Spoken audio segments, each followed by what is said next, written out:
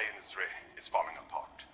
First place Blizzard, Activision, and now we got uh, this huge corporation, Microsoft buying everything. You know why? The capitalists.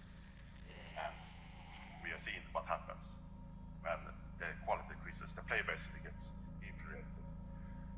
Now we need to we, we need to do something about this. So I, I decided decided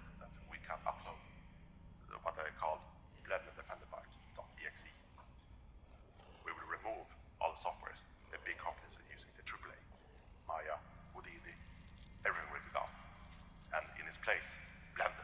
Gonna use Blender to take over everything. Open source is the future. I see on the other side, my hands.